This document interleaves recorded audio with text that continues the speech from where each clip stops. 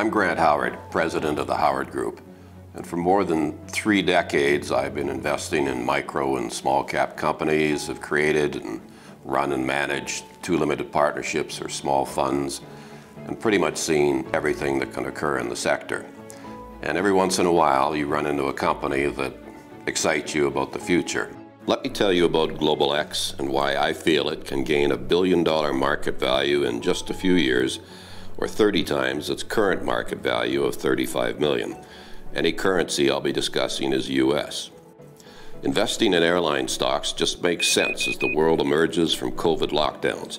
The pent up demand for travel is at unprecedented levels, and especially in the United States, nearing pre pandemic levels.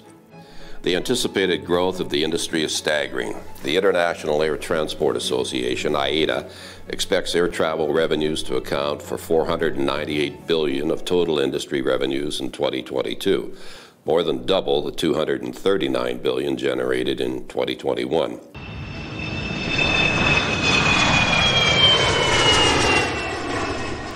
Global Crossing is the fastest growing charter and soon to be cargo airline in North America.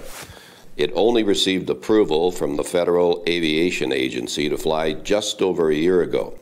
And amazingly, it achieved profitability in the third quarter of 2022. If you believe there's merit in owning a piece of a business versus quick trading flips on highly speculative trust me companies, then spend a few minutes getting to know the Global X story.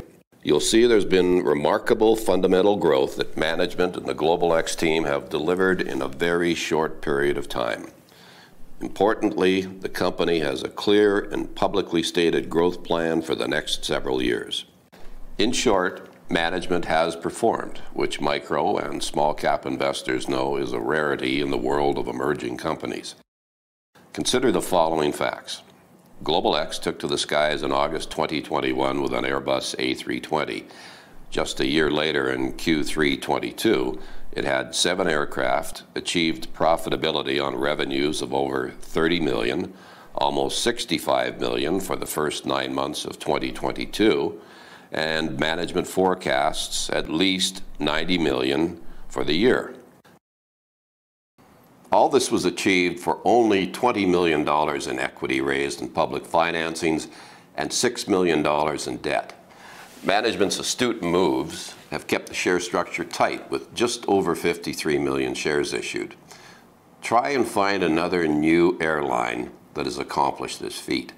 In fact, try and find another new up and coming publicly listed company on a Canadian or US exchange that comes anywhere close to these accomplishments.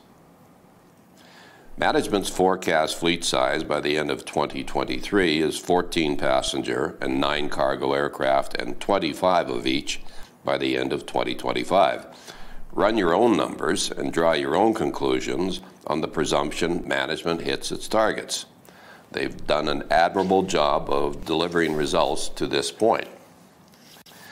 Speaking of management, check out the bios of CEO Ed Wegel, CFO Ryan Goepel, and other members of the team, directors and advisors. It's always about the people. Let's put some context around what was and what is and ask if it makes sense. Global X's market capitalization as of this writing is approximately 35 million based on 53.3 million issued shares trading in the 65 cent range. In July 2020, the market capitalization exceeded 100 million with shares trading well north of $2.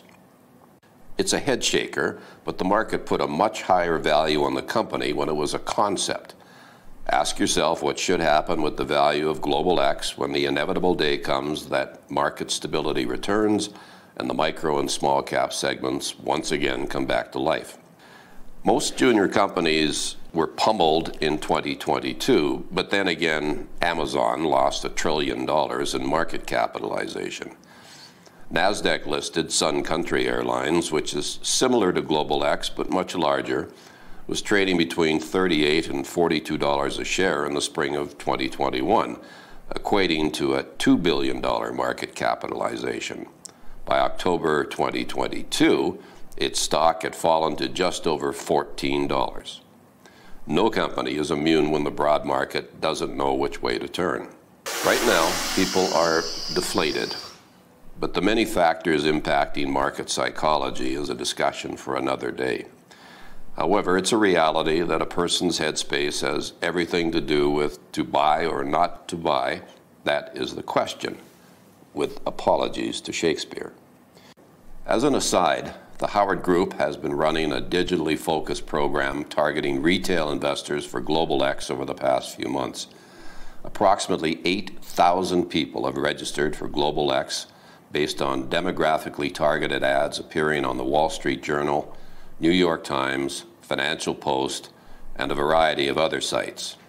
Without question, there are a lot of new eyes on Global X. But what's clear is that while many are watching, most are not yet seeing. There's an important distinction between the two terms. And to sum up things, CEO Ed Wegel recently said Global Crossing Airlines is the fastest growing charter airline in North America. We are profitable and we project over 90 million in revenue in 2022. And then there's this ad. Profitable with 7 aircraft, imagine with 50 aircraft.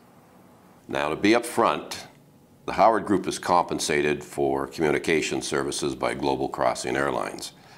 We are not registered investment advisors. This is not investment advice, and we are shareholders.